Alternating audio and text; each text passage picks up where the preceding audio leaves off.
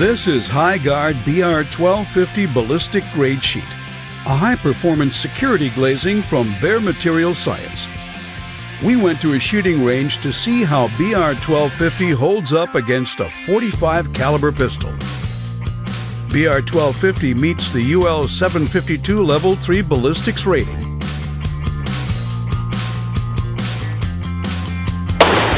Hygard BR1250 is made with four sheets of laminated Makrolon polycarbonate. Both surfaces have a proprietary abrasion-resistant hardcoat that resists marring, chemical attack, and graffiti.